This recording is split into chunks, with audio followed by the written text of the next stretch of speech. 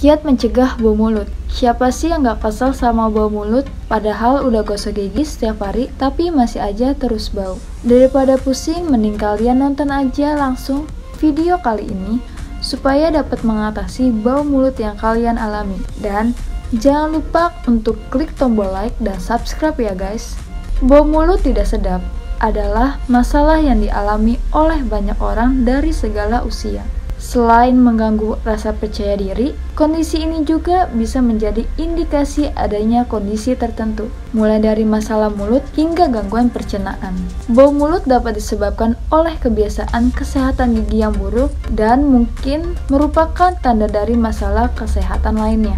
Bau mulut juga bisa memperparah dengan jenis makanan yang kamu konsumsi dan kebiasaan gaya hidup yang tidak sehat. Pada dasarnya, semua makanan yang dimakan mulai diurai di mulut Anda jika ada mengkonsumsi makanan dengan bau menyengat seperti bawang putih, bawang merah, petai, hingga jengkol, menyikat dan membersihkan gigi dengan benang, bahkan obat kumur hanya akan menutupi baunya untuk sementara. Bau tidak akan hilang sama sekali sampai makanan melewati tubuh Anda. Lantas, bagaimana kebiasaan buruk dapat menyebabkan bau mulut? Jika kamu tidak menyikat dan membersihkan gigi setiap hari, partikel makanan dapat tertinggal di mulut, mendorong pertumbuhan bakteri di antara gigi dan di sekitar gusi hingga di lidah. Pertumbuhan bakteri ini kemudian dapat menyebabkan bau mulut. Obat kumur antibakteri dapat digunakan untuk membantu mengurangi bakteri.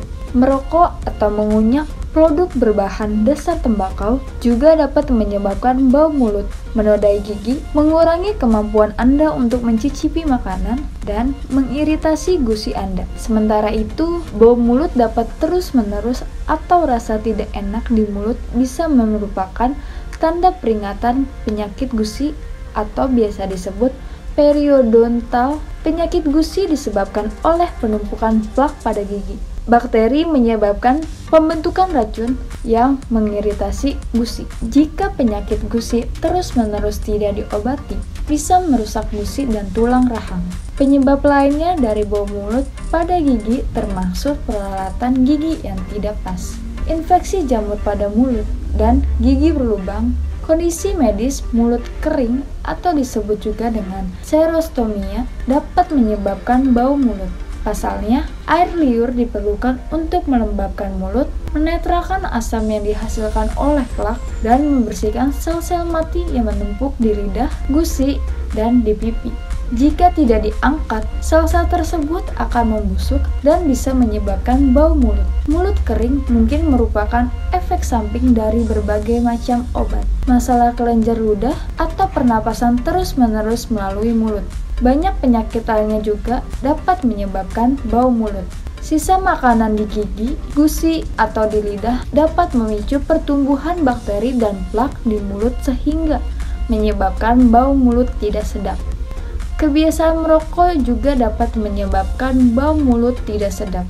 Mulut kering atau biasa disebut dengan serostomia terjadi ketika mulut tidak memproduksi air liur dalam jumlah yang cukup. Padahal, air liur dapat membersihkan mulut dari sisa-sisa makanan yang menyebabkan bau mulut tidak sedap.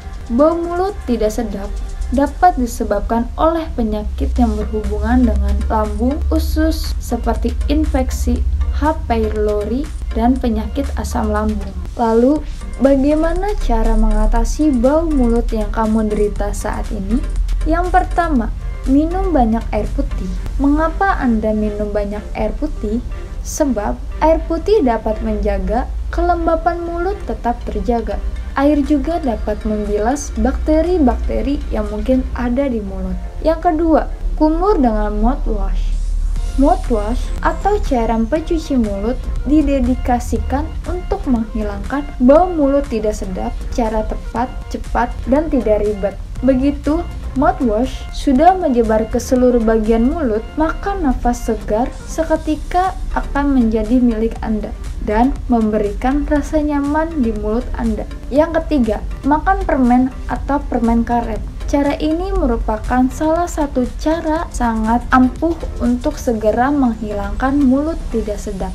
Saat keadaan genting, sehingga Anda tidak sempat membersihkan rongga mulut dari bau mulut dan memaksa Anda untuk berbicara bertatap muka dengan jarak yang sangat dekat. Keharuman permen karet adalah penyelamat yang akan menyamarkan bau mulut tak sedap. Yang keempat, kunyah buah atau sayur penghilang bau.